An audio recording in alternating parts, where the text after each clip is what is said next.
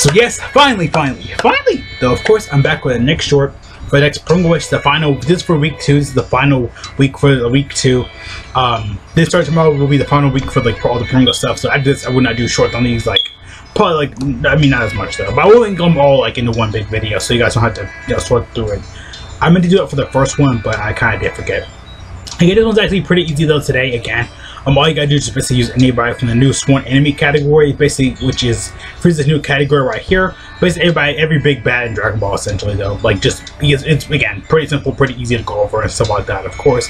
But yeah, this is the last week again for week two. This is the final week, so I just there's no more week two. But then tomorrow I will come out for the next, of course, promotion for week three and the final week, though, of course. Yeah, see you guys tomorrow again for the final week of 350 million downloads. Porunga wishes.